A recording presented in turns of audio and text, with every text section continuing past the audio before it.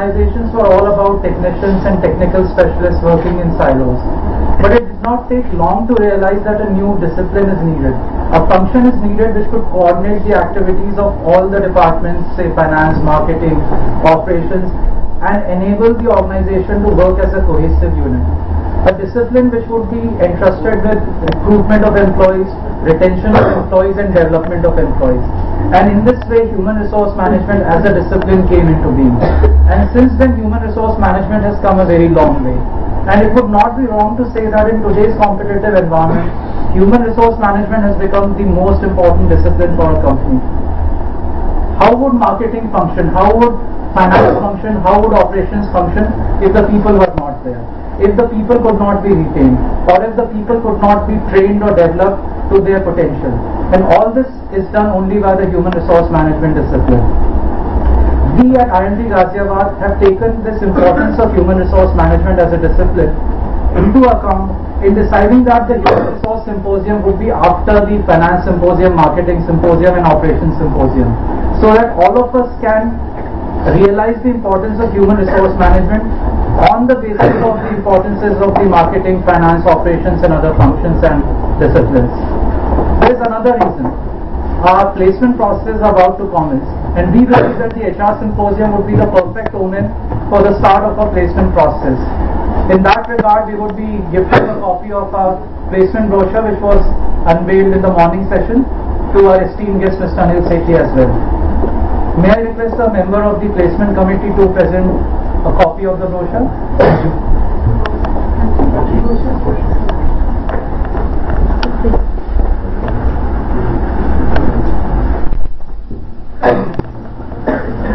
and I wish you all the luck for your placements.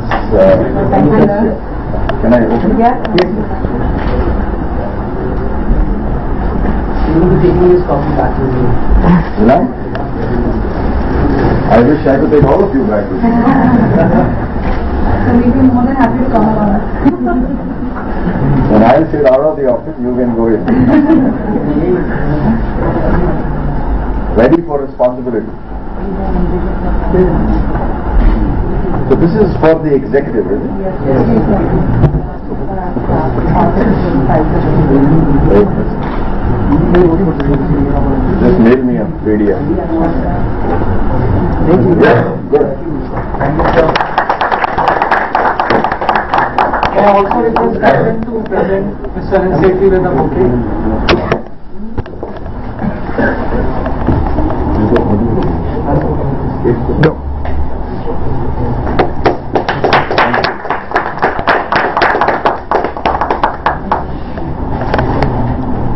You have presented me not with a bouquet, you have presented me with flowers. Even if it was one flower or a bouquet, it doesn't matter. Thank you so much. means uh, when you said uh, HCL has patented it in Ah. several countries. Ah. Sir, uh, what I understand is in uh, almost all of the organizations, Ah. when we go to HR, you know, there are big billboards over there. It's written, employees are our biggest assets. So, sir, what's the difference between what HCL has done? Means, what do you mean when you call it patent? Because all organizations are uh, most of like they're saying the same I thing. I'll try to answer it. It's not patent, I mean, in the sense, uh, as, as an HR initiative, we have tried to put a patent around it. Okay? That only we can use this, uh, these words. Okay? That's what we have done. That's what, if, if, if you call it a patent or use some other word for it, whatever. So, uh, uh, in fact, now there is, uh, you know, because uh, there's another version of the book which is coming out now. Uh, it's it's, it's uh, now subsequent because this was written about four years ago, and uh, we've done enough. So, and your next question was that um, wherever you go in HR, employees first, employees first. Yeah, that is that is true. I mean, uh, but no one has the guts to say customers second. Okay? And then go on to explain it actually. Yeah, when we first launched the book, yeah, it was launched globally. They, some of the customers were really furious. What do you mean actually? Especially American companies, Boeing and uh, you know. But then when they realized the value zone concept and how we are putting employees over there to create value, etc. Uh, and in fact, uh, Southwest Asian Airlines was a big uh, customer for us. Uh, it's the most innovative company. You must have read a case study on SW. So they called us over, our previous CLO, Anand Pillai. He went there and he spent three days in uh, convincing them first, one day, and then two days in training them on this concept. So that's what happened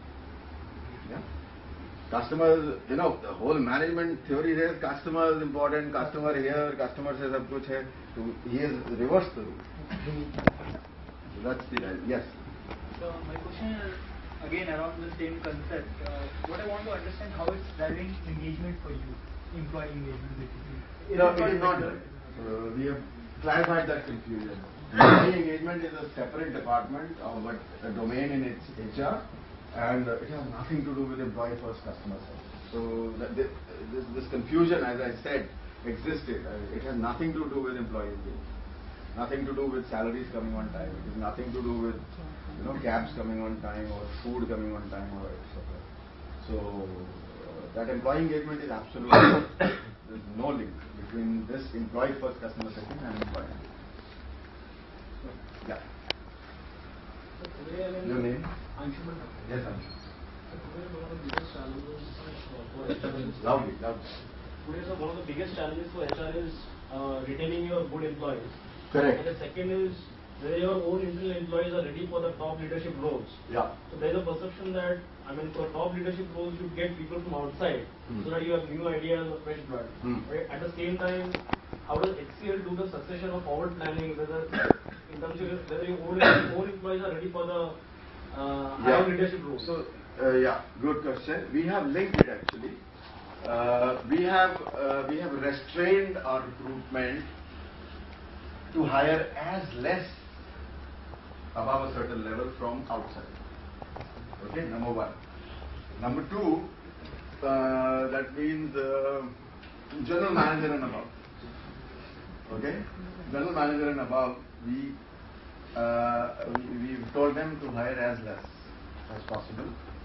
So obviously, then the responsibility comes on internal mechanisms to push the mid-level leadership to be available for the next levels. Okay? So the focus comes on L&D. That you train them so that they are ready for the above GM post because we are not hiring from outside. Okay? So, for example, I'll tell you, I'm uh, leading a training for our mid-level leadership for uh, uh, the biggest, uh, in most HR forums today, we are talking about uh, transitioning challenges. Okay? Transitioning leadership challenges. Supposing you transition into a new role, okay? So that would obviously be when you're promoted or when you're laterally hired into the company. Okay? Or sometimes in between also. You can go into a new client project role. Okay? So this is transitioning. So we have built a training uh, five months around transitioning skills in leadership. So I'm tied up with Harvard for that. And we are following, uh, uh, there's a good book you should read, the first 90 days. All of you should read, by Dr. Michael Watkins, the Harvard publisher. Okay? So we built a training around that and uh, it, it extends for five months. That includes a lot, lot of other things. Plus, it includes the Harvard e-learning and all that on transitioning skills. There are eight transitioning skills required. So, mid-level leadership lacks that. And that is why they are not ready for the future role. That is why HR has to look from outside. Okay. Then we have another uh, high potential training called top. is maintaining the bench. Because in the, the Hmm. current scenario economics is all that the projects are not coming Hmm. and outsourcing is going to a, I would say, a lower level, not to the Hmm. higher level aspect. In the if you look at the world altogether. Hmm. So how being an HR man, how your company is motivating your employees who are on bench and then how you retain them as a talent as well so that they don't move to some other companies around. I don't know. Uh, does Jubilant have a kind of bench? Only IT companies have bench. Do you have a bench uh, who are uh, you know kind of unemployed but salaried employees? you know, Or IT companies have a bench actually. This concept, huh? Uh, I don't know where this word came from, bench, who invented this. It's a very wrong word. Uh, talent pool. Unproductive talent pool. For no fault of theirs actually. And that's a huge challenge. Uh, we have a whole department which is responsible for that in HCL. Uh, there are uh, whatever, and it uh, reports to HR only. And uh, they, they, their uh, only job is to engage them and find slots for them in whichever you know domains. But we have we have a lot of gaps still. I mean, I would admit. Uh, but it's a very structured, it's a very robust. I mean, they are the ones who keep working till 9 p.m. every day. They sit in my floor and uh, through numbers and you know how to place them where, etc. It's a very tough task. And sometimes uh, a bench resource, uh, you know, goes through 25 interviews, internal, still doesn't find a slot. And uh, they have a three-month window only in which they have to find a slot, or in which we have to find a slot for them, whatever. So it's a big challenge. But we try to engage them. Uh, they are available uh, on, on our portal uh, with their skill sets also. And uh, whichever uh, team, you know, some work, extra work comes from a client, etc. And if I need an Oracle expert or a SAP expert, so I look at the talent pool and try and pick you. God forbid you are on bench. Supposing you are on bench, so I'll pick you and uh, engage you for seven days, eight days, or whatever. Because you are on salary. In three months you are on salary. and uh, so we'll engage you and then release you after seven days. Jao, can you not jao? Back to the bench or whatever. So this is how they are engaged and of course they upskill themselves on training. They are pushed to attend a lot of trainings. Okay? Internal training. Because HCL does a lot of internal training. We, we, very high-end trainings are outsourced. Otherwise we do it internally.